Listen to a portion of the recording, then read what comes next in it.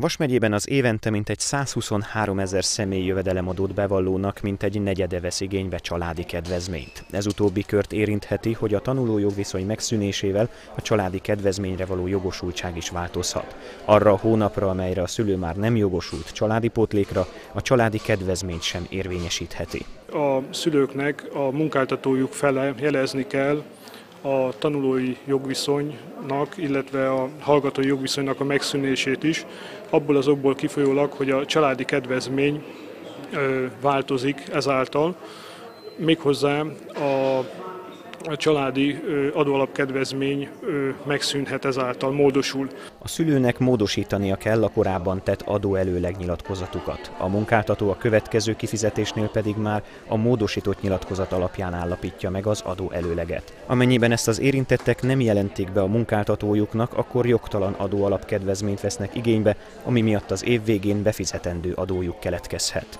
Ha 10 forintot meghaladja a nyilatkozat elmaradásából kifolyólag a, az adó, akkor 12%-os büntetőadót kell megfizetni.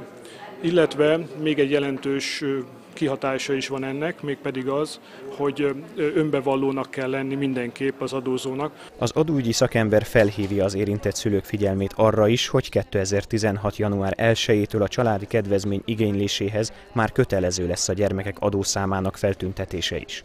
Amennyiben nem rendelkeznek adóazonosítási jellel, akkor azt most igényeljék meg, és ne hagyják az év végére.